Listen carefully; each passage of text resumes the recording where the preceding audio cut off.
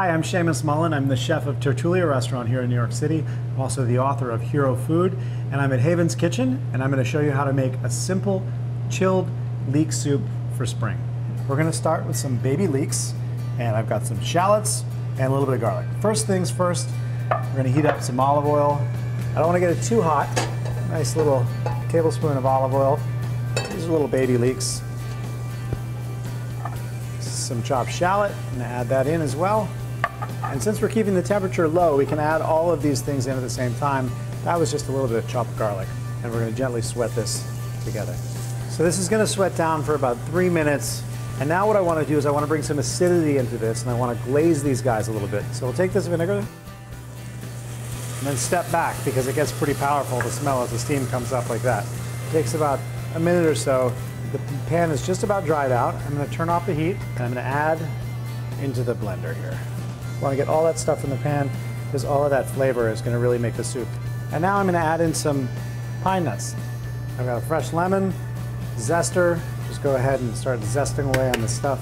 Let's start by pulsing this really quickly. The vegetable stock is going to go in, and then we're going to we're going to blend it up nicely. So add in our vegetable stock, and we're going to blend it. And the last step, drizzling in olive oil at the very end.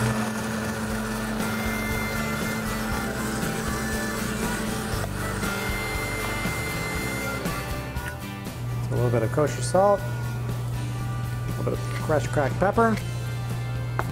So that'll mix up as I pour it like that. Now our soup's ready to chill in the refrigerator for a couple of hours. Like any chef, I like to use all of the vegetables. I don't like to throw anything away. So we use the hearts of the leeks to make the soup.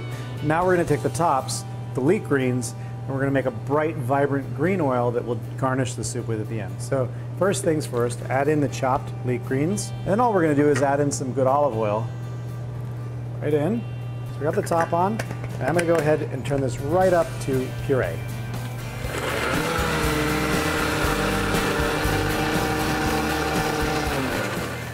Perfect. So we've blended this up, and this is what we get. A nice, bright, vibrant green oil that we're to use to garnish our soup.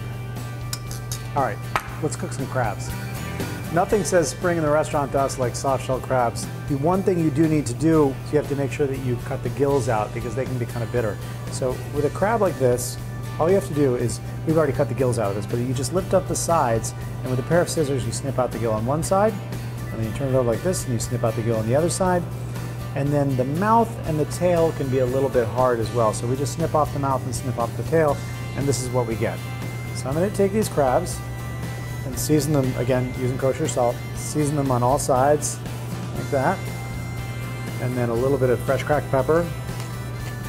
All right, perfect. Nice and seasoned. And then to fry them up and make them crispy, we want to dust them a little bit. This is some rice flour and some chickpea flour, or gram flour as it's called. And then we're going to very, very delicately dust these guys. You don't need very much, just enough to kind of coat it. And that's what we're looking for. We're going to take our dusted crab and we're going to go into the smart fryer, which we have preheated to 325 degrees. I'm going to lower it right in. You can pick the basket out, but I like to lower it into the oil myself, like that. Perfect. And I'm going to cover it up and we're going to let it go for about three minutes until it's crispy and cooked all the way through. Check on this guy here. We're going to just hang this like that, set the excess oil out. You have a perfect, crispy, soft shell crab, just like that. We'll let it drain here. Now let's get our soup together and finish the dish. First thing I'm going to do is I'm going to cut the crab in half. So nice sharp knife, cut it in half, and then we're to take the crab, stand it up inside our little bowl here. Perfect. All right, now I've got my chilled soup. Take the chilled soup and we're going to pour it around the outside of the crab, like that. Perfect. These are some blanched peas, which I think give it a nice bright spring thing going on. So I'm just going to sprinkle these around. And then remember that nice green oil we made? Well, this is going to really, really help the color.